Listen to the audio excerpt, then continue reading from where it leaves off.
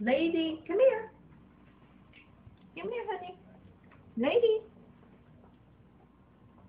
That's a good girl. Good girl.